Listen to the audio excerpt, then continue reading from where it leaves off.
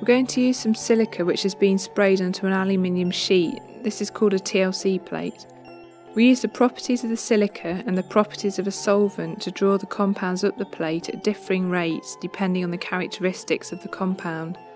First of all, we need to make a TLC spotter. Heat the centre of a capillary tube in the blue cone of a micro Bunsen burner flame.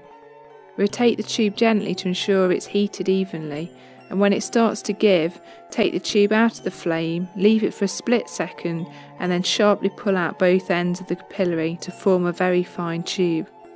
Allow this to cool and then snap the tube to produce two spotters.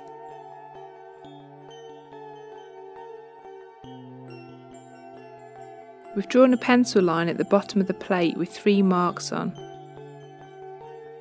We're going to spot one of the samples on the left hand spot and the other on the right hand spot.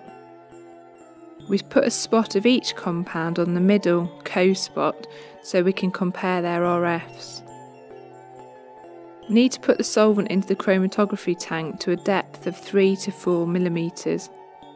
Usually you'll be told what solvent to use. Put the plate into the tank and put the lid on. You'll see there's a piece of filter paper in the chromatography tank, which is a beaker. This helps to saturate the atmosphere with solvent vapours. Once the solvent front has got to the top of the plate, remove the lid, take the plate out and draw a line where the solvent front is so you can work out your RF values.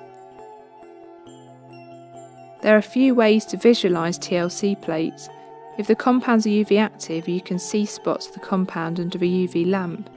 Use a pencil to circle the spots.